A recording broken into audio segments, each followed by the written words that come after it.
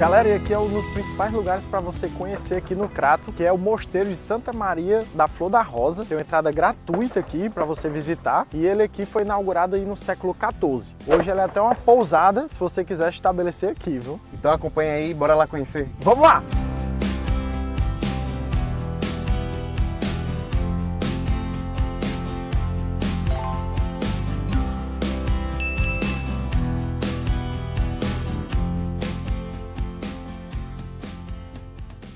Há uma lenda aqui envolvendo o nome da Flor da Rosa. Basicamente havia um cavaleiro aqui, né? Muito querido aqui na região. Ele estava muito doente e o pessoal vinha aqui entregar presente para ele, em solidariedade, né? Para ver se ele melhorava logo. E o presente que ele mais gostou foi exatamente da noiva dele, a Rosa. Ela entregou uma flor com o mesmo nome dela, uma rosa, né? Então, basicamente, para surpresa de todos, quem morreu aí não foi o cavaleiro, mas sim a Rosa, a noiva dele. E aí, ele ficou muito triste, foi definhando, e aí, próximo da morte dele, ele fez dois pedidos. O primeiro, basicamente, para levar a flor até o sepulcro dele, e também para dar o nome dessa região aqui de Flor da Rosa.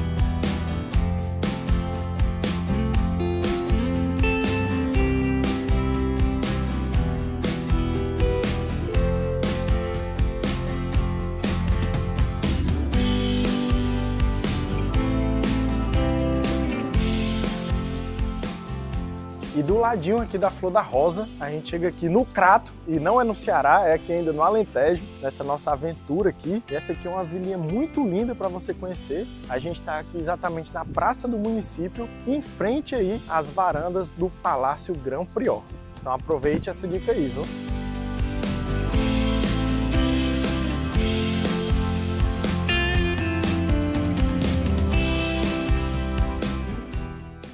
E o Crato aí recebe a Ordem de Malta, que antigamente era uma ordem militar cristã e agora está relacionada aí com a presença aí de hospitais. E muito lindo aqui mesmo, a gente está em frente aqui o Passo do Conselho, então se admire em cada vilinha aqui do Alentejo. Hein?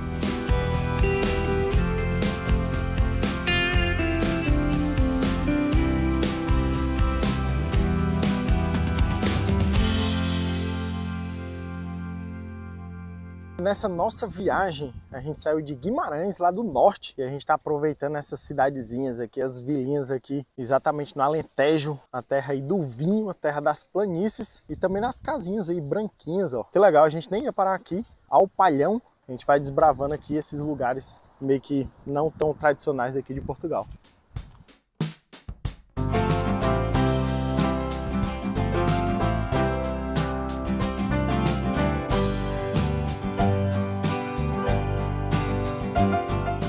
Galera, e chegamos aqui em Nisa, que tem uma história curiosa por trás desse nome. Antigamente aqui era uma fortaleza construída pelos monges, guerreiros, da época dos templários ainda.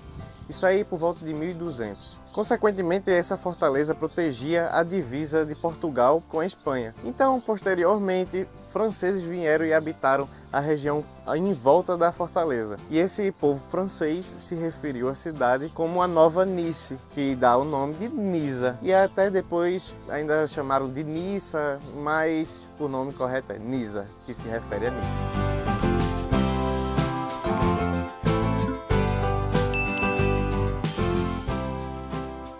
E olha aqui que diferenciado. A vilinha recebeu o título aí de muito notável pelo rei Dom João I. E isso aí figura até hoje aqui nas armas municipais.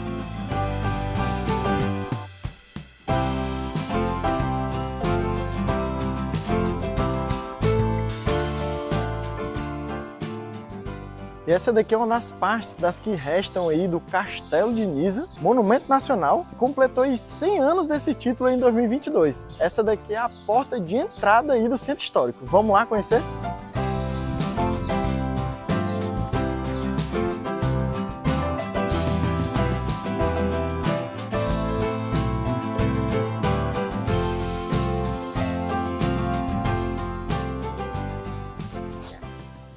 E Nisa que é bastante conhecida pela olaria pedrada, que é esse tipo de arte aqui desse vasinho. Você vê assim a cerâmica, até umas pedrinhas assim em formato de flor.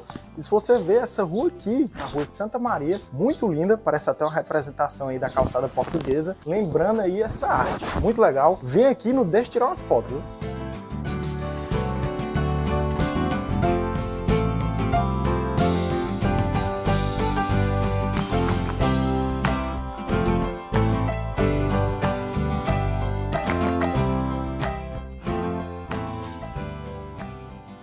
Da manhã aqui no Pingo Doce. 4,10 aqui para poder economizar. Pãozinho de queijo, pão brasileiro e galão. Eu não vou comer nada.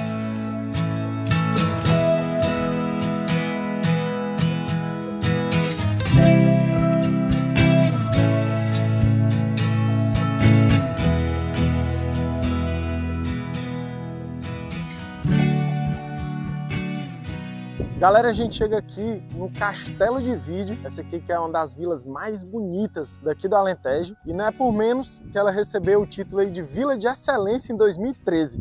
A gente está aqui no topo da colina, num climinha assim entre as nuvens e com vistaço assim para as planícies do Alentejo. Muito lindo mesmo, viu? Recomendo demais a sua visita em Castelo de Vide.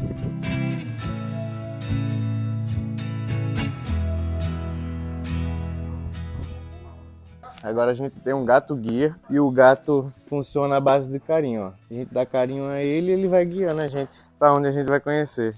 E aí, qual é o próximo lugar?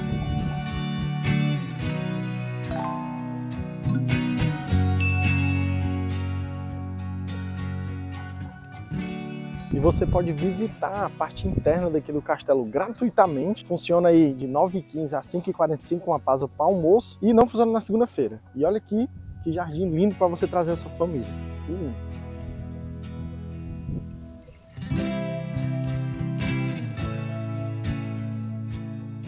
Que viagem, dá para subir aqui no topo aqui do castelo também, ó. Como se fosse um telhado aqui. Que irado, velho. Bem medieval, viu?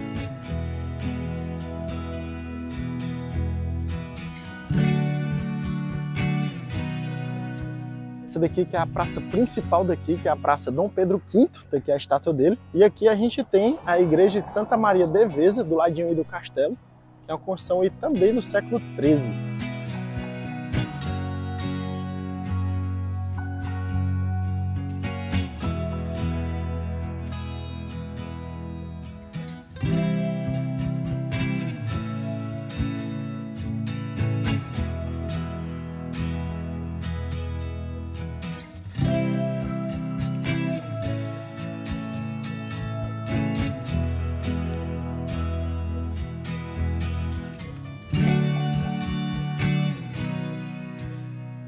Galera, chegamos aqui em Marvão. Se liga nesse cenário aqui, essa colina aqui com mais de 800 metros.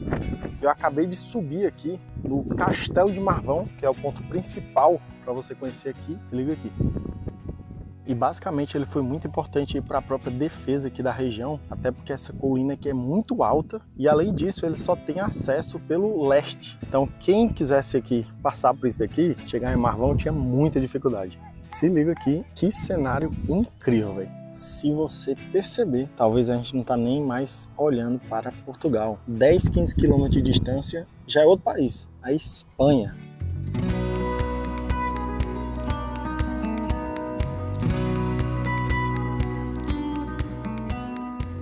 Olha, estamos em cima da torre principal aqui do castelo. Só para você ter uma noção aqui da área aqui desse castelo, ó. se liga e da altura. Olha a galera ali embaixo. Vou dar um zoom ali, ó. ó a Dani e o Gabriel.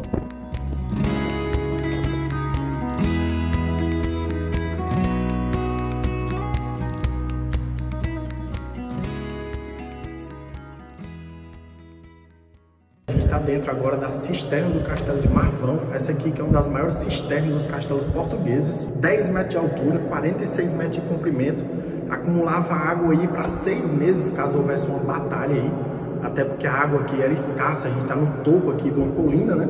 Então se liga, impressionante e também assustador.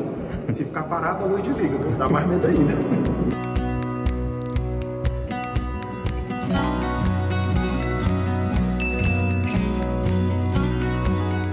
Galera, é impressionante assim as próprias ruazinhas aqui, a arquitetura de Marvão, as casinhas brancas aqui, as ruas em paralelepípedo. E essa vila aqui já foi reconhecida como a vila mais portuguesa daqui do país, pelas culturas e pelas tradições que eles mantêm aqui.